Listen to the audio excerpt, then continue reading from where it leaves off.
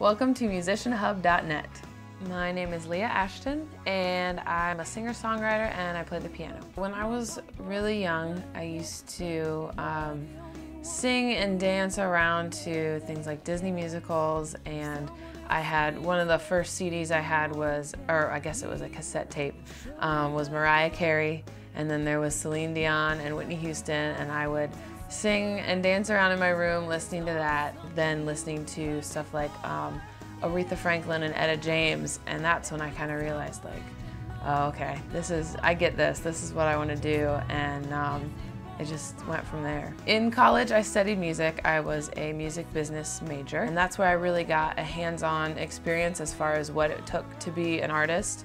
Um, I was able to really develop some songwriting and um, recording techniques and uh, the marketing and the promotion that goes behind it and just really be a part of that. Um, and that exposed me to more of the industry and the business side of music while also being at college though and being a music major having to study music theory and take voice lessons and piano lessons and all the music classes. Choosing music as something that I'm pursuing as a career, um, I would say that one of the sacrifices I've had to make would be, I guess, a regular career life. Um, there's not so much a nine to five job as far as in what I want to do. Um, and it's also not something that you get a steady paycheck or any kind of steady income really from, at least at the point that I'm at right now. I've lived in LA for about a year and um, I just came here knowing I was going to have to jump in head first. I've been able to work with some really great musicians in Orange County, but something I wish I would have done more would be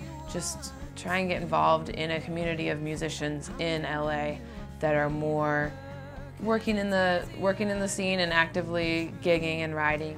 Um, advice I would give would be just to, to work hard and to surround yourself with people that are better than you. Um, surround yourself with people that are doing what you hope to be doing. Find what you're good at and find what makes you different and makes you special and really um, dig into that and find people that appreciate it and want to want to listen to it. www.leahashton.com. Uh, show schedules and where to listen and buy music and some videos and all the all the fun stuff.